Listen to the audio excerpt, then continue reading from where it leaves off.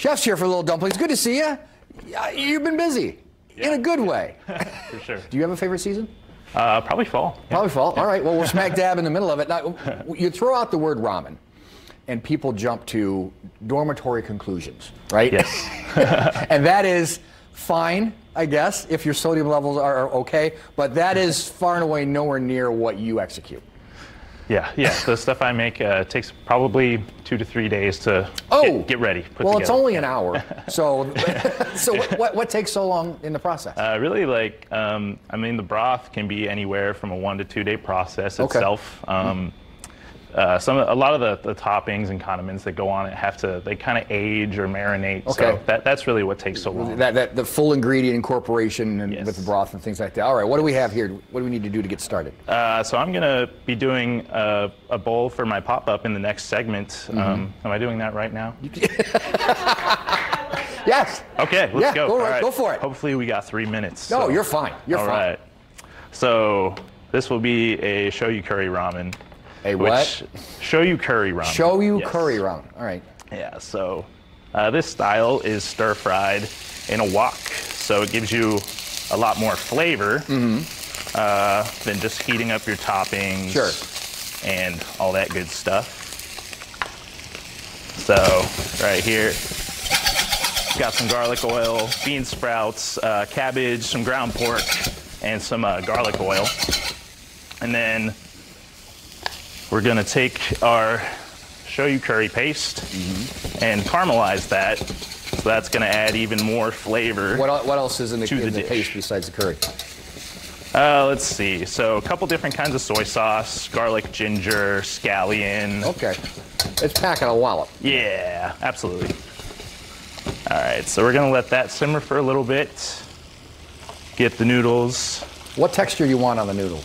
Uh, al dente, al dente, really. Um, so uh, I want to cook them a little bit under um, before I put them in the soup because they're just gonna continue, right? Hot, hot, hot. Yeah. Gotcha, gotcha, It'll gotcha. dilute. Yeah. so, so the pop-ups have been going well. Pop-ups have been going great. So how different is it for you, stamina-wise, for a pop-up versus, say, uh, a regular kitchen shift at Little Dumpling? Is it the difference between like the Indy 500 and a drag race? Like it's like, Uh, foot to the floor the whole way?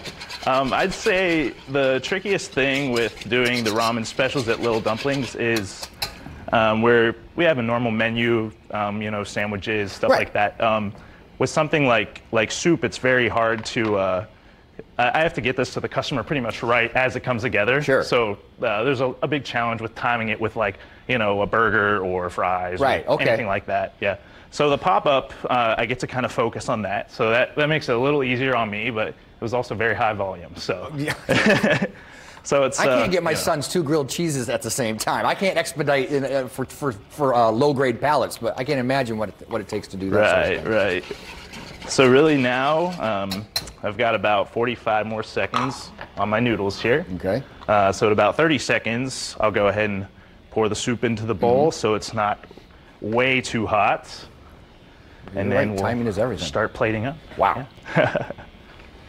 so, what have been some of the challenges you, you've been able to overcome? I'm, I'm sure, I mean, Signature Test Kitchen has, has been incredible. I just watching it in my uh, social media feed and, and influencing friends who aren't comfortable necessarily, you know, for the full blown dining experience to at least Yeah, stop so- in, pop in, and, and get something authentic and, and fresh and hot and delicious. Yeah, so last time I was here, um, uh, we were actually, Jolene and I were talking about getting these pop ups going.